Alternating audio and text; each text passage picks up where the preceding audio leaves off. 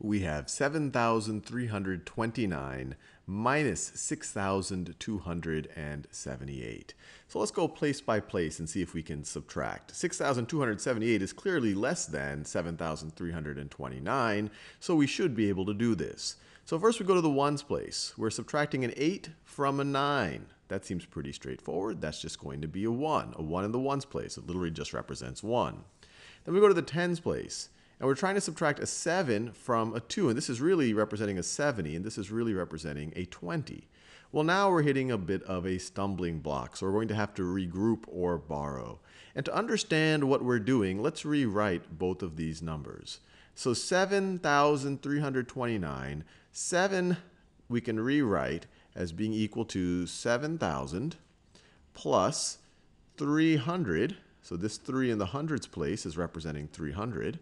The 7 in the thousands place is 7,000. 3 in the hundreds place is 300. The 2 in the tens place, that's two tens, or 20. And then the 9 in the ones place is just going to be 9. So this is another way of representing 7,329. And then down here, we have the 6 in the thousands place. Well, that's just going to be 6,000. We're subtracting, so minus 6,000. And then here in the, we have a 2 in the hundreds place. And once again, we're going to be subtracting all of these. So we're going to be subtracting 200. And then here in the tens place, we have our 7. We have our 7. We're subtracting it. So 7 tens, that's 70. And then we have, we are subtracting that 8. We are subtracting that 8. And what we've already done, what we've already done is said, hey, look, subtracting 8 from 9, that's just going to be that's just going to be 1. But then we got over here and we said, hey, how are we going to subtract 70 from 20? And the key here is to regroup some of the value up here and give it to the tens place so that we can subtract 70 from it. And the most natural place to go is one place value above. So we could take 100 from the 300. So we could take 100 from the 300. So then it will become 200. We're going to give 100 to, we're going to give that 100 to the tens place. So it is going to become, it is going to become 100, 120. Notice, 200 plus 120 is 320. 300 plus 20 is 320. We have not changed the value of the number. We've just changed what place we're representing it in.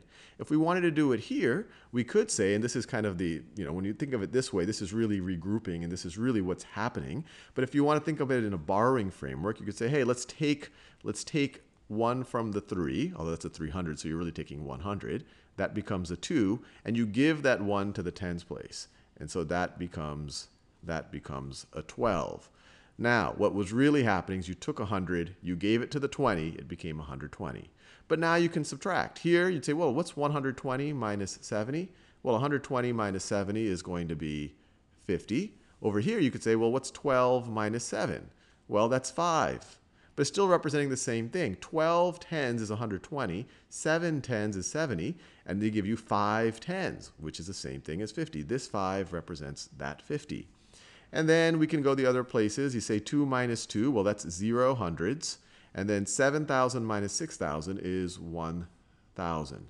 And once again, right over here, 200 minus 200 is 0 hundreds. And then 7,000 minus 6,000 is 1,000. 1,000. So this is going to be 1,000 plus 0 plus 50 plus 1, which is the exact same thing as 1,051. The important thing is to visualize, you don't have to write this out every time, but to make sure you visualize in your head that this 3 is representing 300, that this 2 represents 20, that when you're, when you're taking 100 from the 300, then you would represent that as a 2 in the hundreds place, and then when you give 100 to the tens place, it's essentially like adding it's essentially that the, the two tens will become 12 tens because you're giving it 10 more tens. You're giving it 100. So hopefully that makes some sense.